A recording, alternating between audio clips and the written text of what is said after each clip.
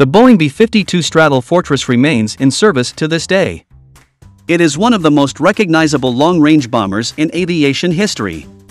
Its role has changed quite a bit over the years with the 159-foot long, 185-foot wingspan aircraft undergoing many modifications.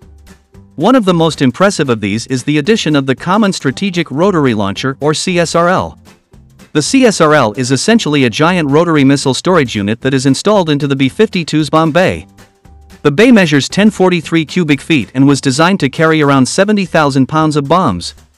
The CSRL can be rotated freely allowing the gunner of the B-52 to select from a range of different missiles and bombs. The CSRL unit is preloaded with ordnance and then brought out to the waiting B-52 which has been fitted with a special internal system that can hold rotate and deploy the CSRL. This allows the B-52 crew to attack a wealth of different targets all over a given area in just a few minutes.